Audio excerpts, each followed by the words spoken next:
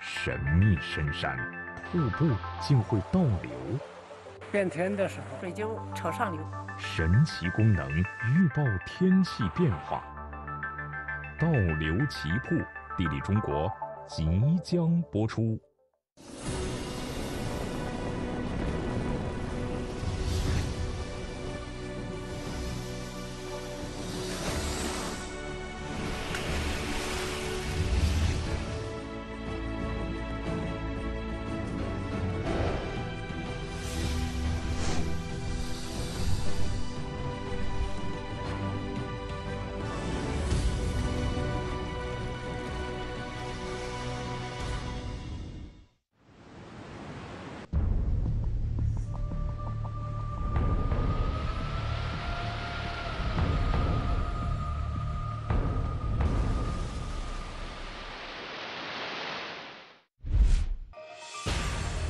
各位好，欢迎收看我们今天的《地理中国》节目，我是盛春。刚才啊，您看到的那些瀑布形态各异，美的各具特色。古今中外，人们写下了许多诗句来赞颂这种美丽的流水景观。其中，唐代大诗人李白的“飞流直下三千尺，疑是银河落九天”是我们耳熟能详的名句。一个“落”字，写出了瀑布最大的特点。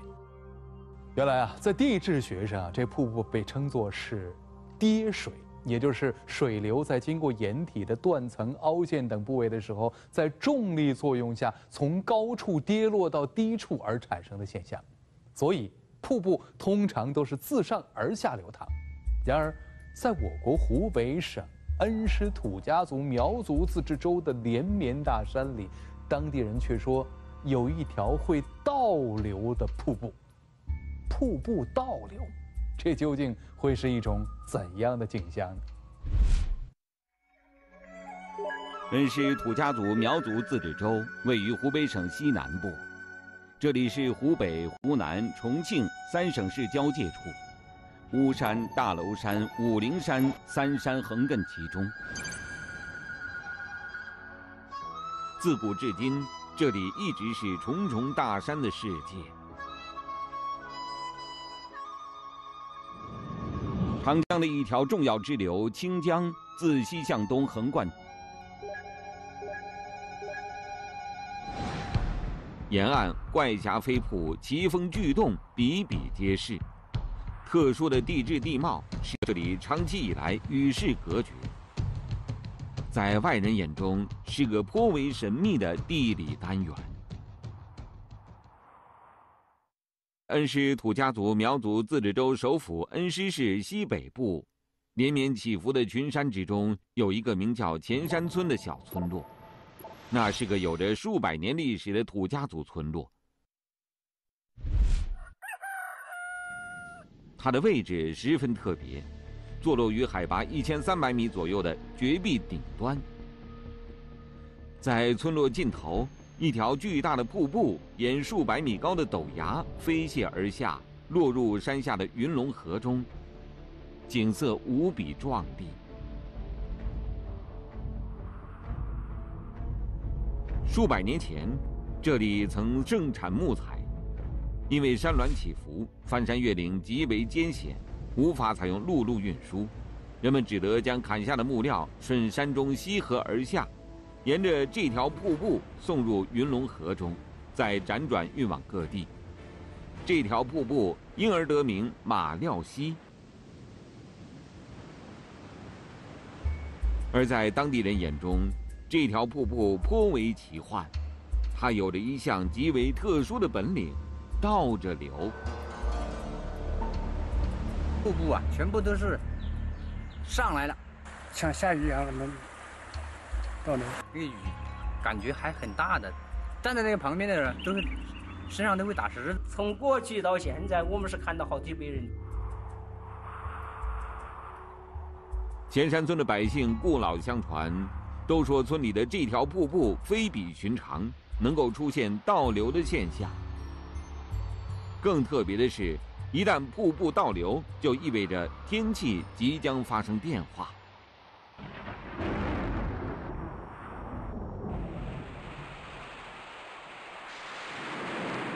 对，天不变它不上嘛。变天的时候，水就朝上流。半岸上出来的这么一个东西，红的绿的，像彩虹一样嘛。山顶出现彩虹，瀑布会倒流，还能预报天气。这样的说法听起来仿佛是天方夜谭。那么，自然界真的会存在如此特殊的景象吗？那个谜一样的深山村落里，又隐藏着怎样的地理玄机呢？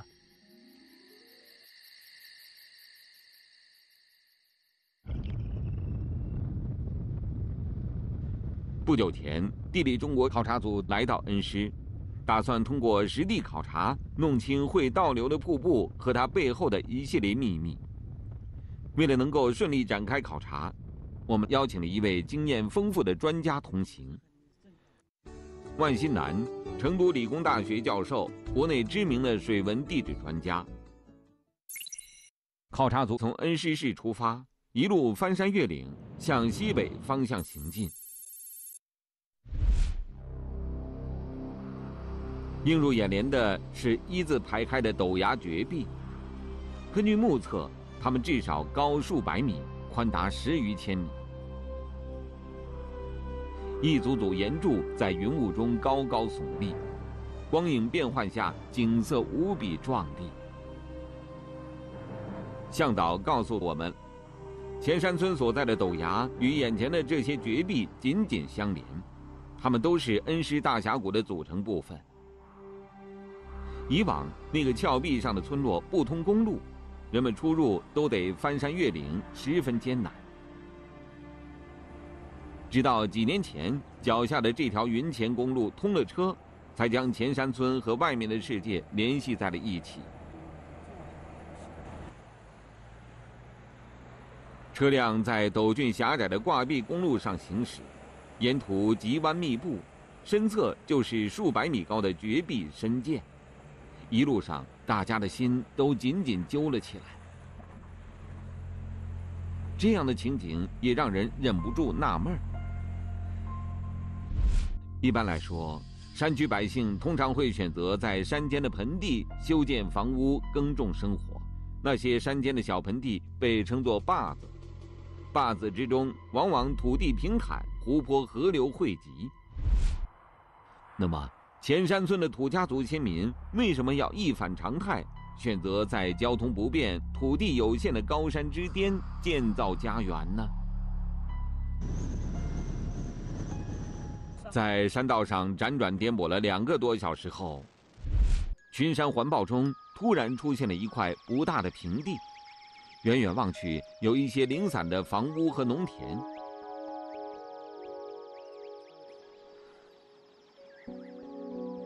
在一片绿意中，它看起来平静安宁。向导介绍说：“这就是前山村。”草还挺多的呀。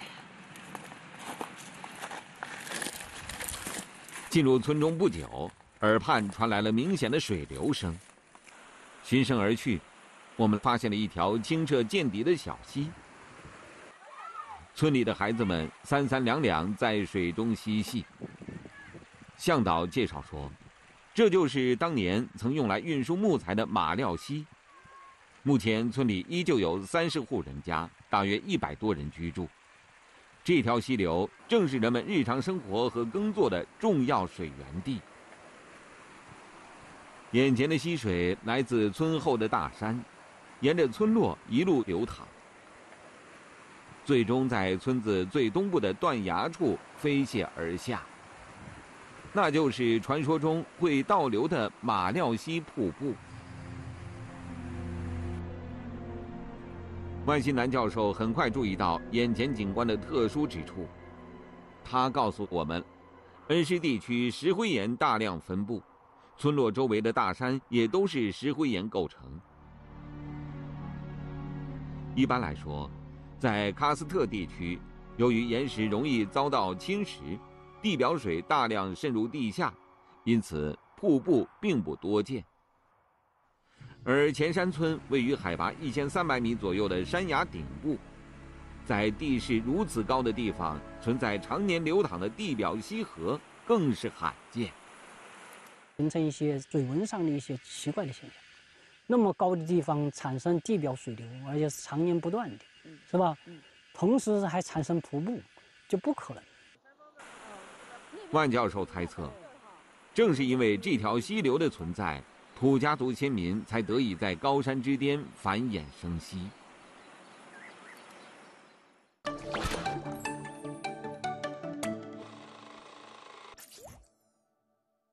跟着紧一点。哎，脚底下都是花，好漂亮。对，我们十分好奇，为什么这里会如此特殊？大家加快了脚步。大约二十分钟后，我们来到了村落尽头的陡崖前。伴随着水流的轰鸣声，一条巨大的瀑布出现在眼前。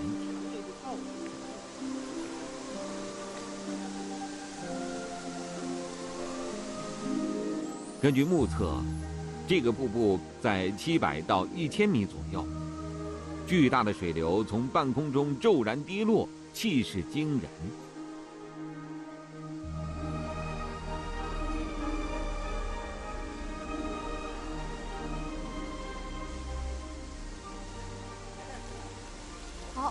已经找着了哈，这就是当地人说叫马料溪的这个瀑布。这个瀑布非常非常有意思的一点是，说它在某些时刻呢能够出现倒流的情况。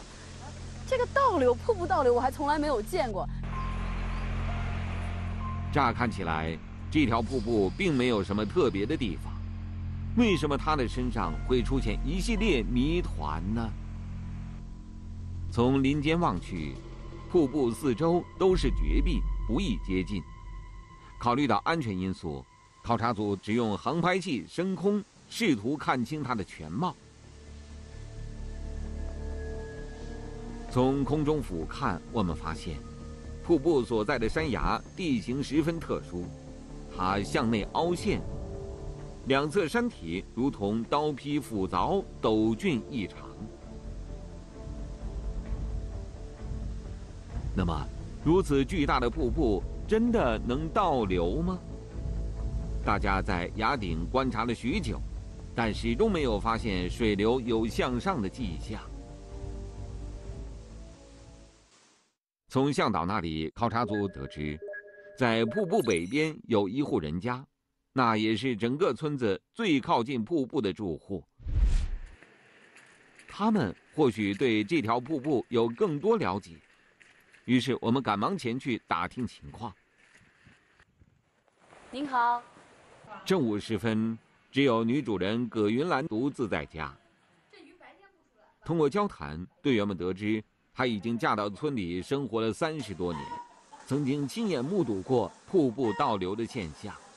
我来了三十年了，不应该出现。反正出大太阳，你在那里干活的话，好像在下雨了，那个就不是下雨，就是那个水倒流上来了。不久后，记者突然感到身边有明显的雨点飘落，然而此时晴空万里，并不像是降雨。匆忙间，记者用手机拍下了一段视频。哎，我怎么感觉好像，好像又是不是又有一点了？是不是？有一点吧？啊，您看，好像是有一点了吧？是是。这这这，但是这个这温度太高了，你看这有点到底下好像，就是这样，是不是？就是这样，呃，几分钟时间。它因为这个温度比较高，因为出着太阳哈。啊，就是啊。到了地上就蒸发了，到了地上就干了。不是下雨。那是怎么回事？那个水倒流上来的。您说刚才那个就真的是瀑布水倒流？就是啊。葛云兰的话让我们震惊不已，原来这就是所谓的瀑布倒流。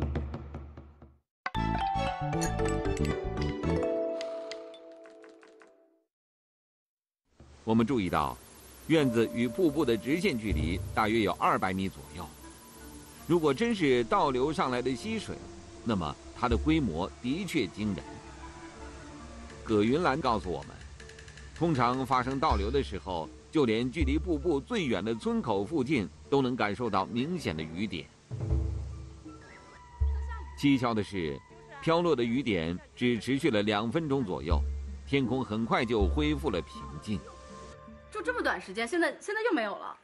它那个出大太阳的话不会下雨的，它就是那个水倒流下来的，最多几分钟时间。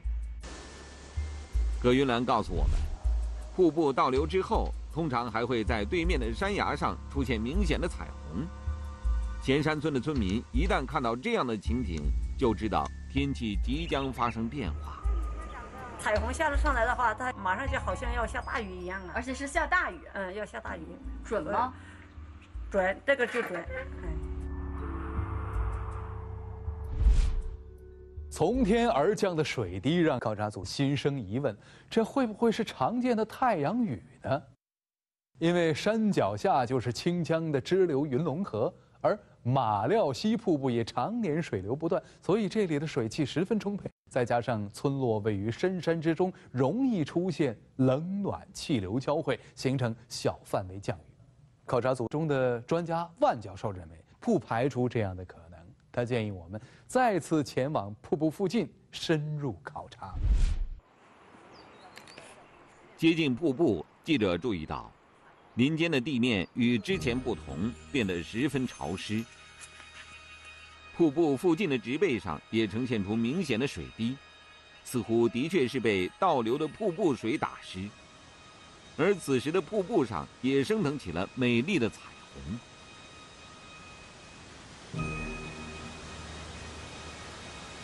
形成一个很高的雾，就水雾层。太阳这个一照，好，可能就在高山上出现彩虹了，是吧？因为有水雾啊，它才有折射，有折射了，它就可能出现彩虹。高处出现了彩虹，意味着这条瀑布的确发生了水流反向的情况。按照村民们流传已久的说法，这就意味着大雨即将来临。我们非常好奇，天气真会发生变化吗？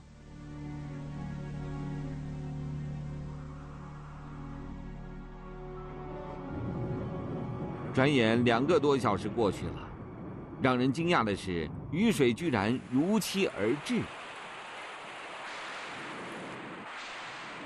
水流反向，准确预报，使我们开始相信这个瀑布的确非同寻常。那么，它怎么会有这样的本领呢？结合之前对瀑布所在位置的观察，专家告诉我们，他已经找到了破解谜题的思路。这条瀑布位于陡崖绝壁上，我们无法展开近距离考察。而瀑布紧邻壮丽的恩施大峡谷，专家认为它和我们所在的山体直接相连，地貌上可能存在许多相似之处。于是，万教授带着我们来到距离前山村以南大约二十千米的恩施大峡谷，寻找线索。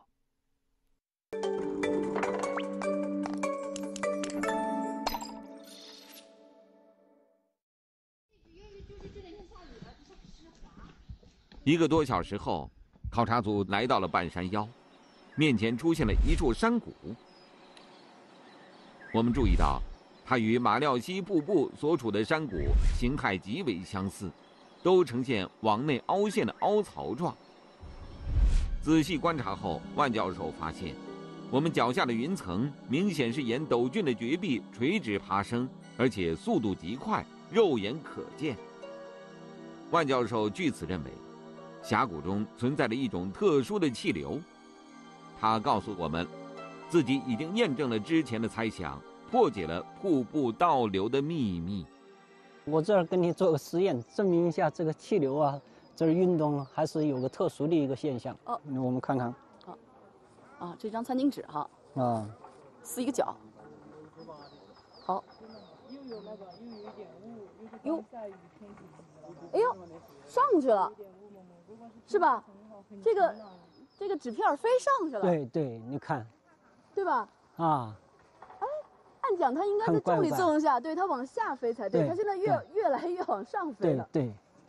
它怎么会出现这种现象呢，教授？这这个挺有意思，你你你看啊，一直在空中飞舞啊。所以它这个纸纸片啊，你你看什么东西啊？它是从这儿稍微往下一点，然后转身就往往上去了。所以说这儿这儿气流是这样。从大河向大河里的水一冲冲出来，冲出冲出来之后呢，这这是就是形成浪了，浪花回头一下就往上升了。嗯，这个气流它怎么产生呢？这个绝壁前面是一个非常空旷的地方，这个时间它的气流很大的。那么我们可以看到，就从这个雾就可以看到，前面都是像个雾海。嗯，那么这个雾海呢，它遇上这么个巷道以后啊，这个压力，这个气压就要低一点。嗯，那么那个压力要高一点，所以说从这儿一压的话，这个气流就往这边走了，往这边走了，它就往上升了。万教授告诉我们，马料溪瀑布之所以能够倒流，同样是因为特殊地形产生的上升气流。这样的说法让我们非常纳闷。因为相较于轻薄的纸片要使数百米长的瀑布反向，无疑需要极强的风力。万教授进一步解释说，降雨之前，空气中的气压通常会发生变化，出现明显降低，而瀑布所在的山崖因为形态特别，在某些条件下能够瞬时产生强大的上升气流，进而驱动部分水汽反向。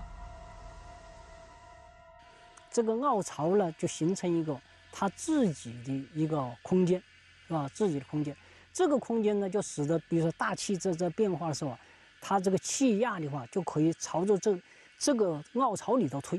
所以说，气流一压的话，它就可以在一定压力下的话，它这个瀑布啊，在某些条件下，它部分水甚至要反向。专家认为。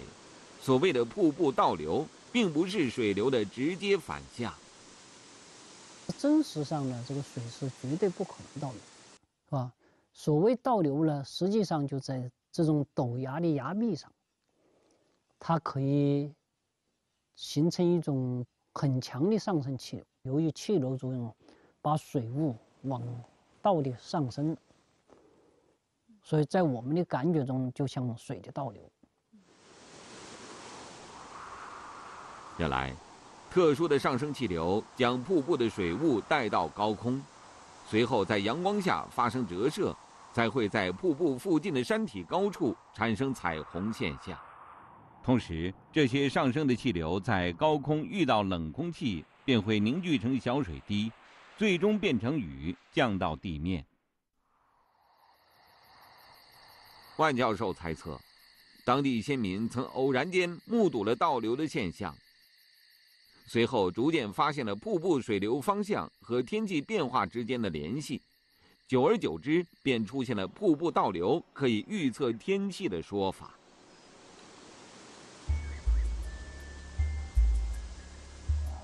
考察到了这里，还有一个谜团没有解开：同处大峡谷山体的马料溪，为什么与众不同，会存在地表的水流呢？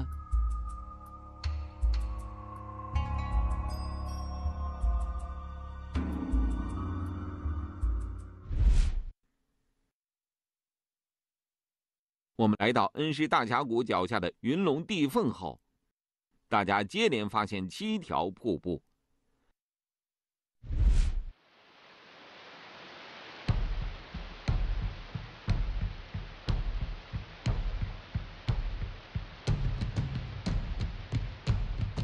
专家告诉我们，这是因为在地缝上下的二叠系和三叠系石灰岩中，夹杂了一层隔水的煤系地层。水流无法揭穿煤层，因此地缝顶部才能有广泛发育的瀑布存在。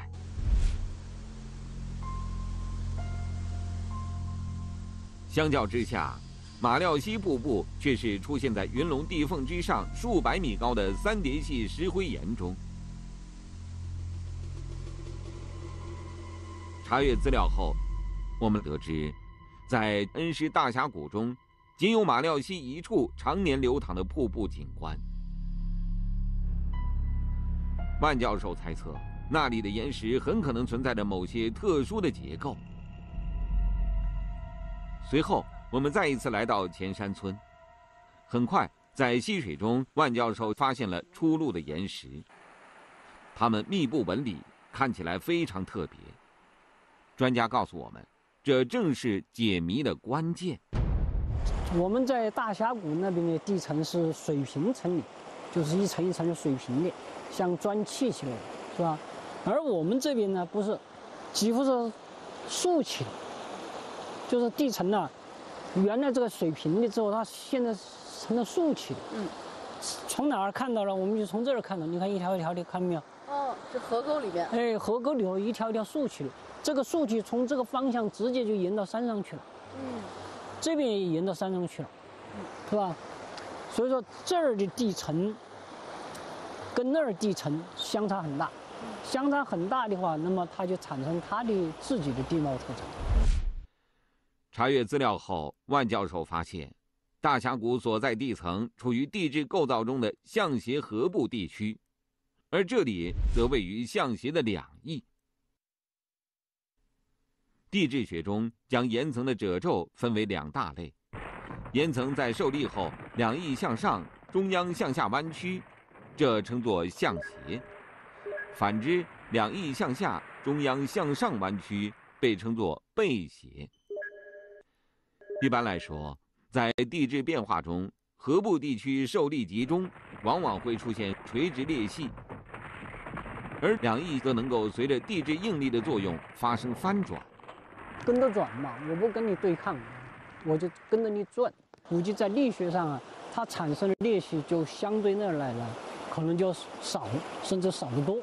那么这个时间呢，它往下透水，只有沿它的层面力。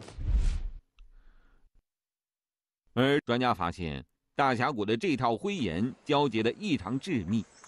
嗯，它整个是个很硬的，你看滑滑不动，嗯，是吧？学院这儿有层理的话，嗯。看着这个层纹，这是表面这个风化，这个日日晒雨淋风化造成的。嗯，实际上打开的话，它是非常完整的。嗯，你看不到这个横纹的。嗯，所以说，等于我们建建房子，嗯，这个水泥啊，交接都是无缝交接。哦。因此，水流沿层面裂隙下渗极为缓慢，造就了马料溪这条喀斯特地区的地表溪流。继而形成罕见的瀑布景观。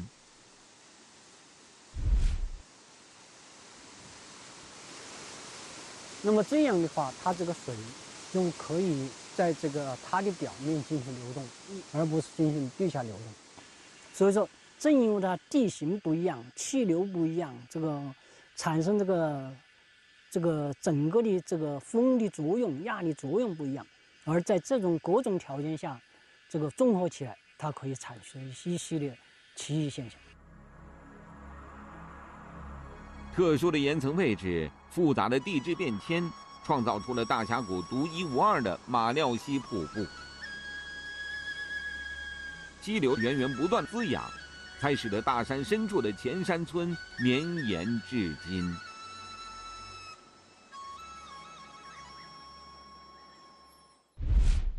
自然的力量劈开了大峡谷，创造出一系列惊世美景的同时，陡峻的山势、稀缺的资源也给土家族百姓留下了一系列生存难题。然而，勤劳智慧的先民们不畏艰难，发现了这块得天独厚的宝地，因地制宜，最终在高山之巅铸造起了自己的家园。人们在溪旁生存繁衍，构筑出仿佛世外桃源般的景象。而事实上，马料溪的秘密不仅仅只有会倒流的瀑布，它值得人们更多关注和探索。好，感谢您收看我们今天的《地理中国》节目，我是盛春，咱们下期节目再见。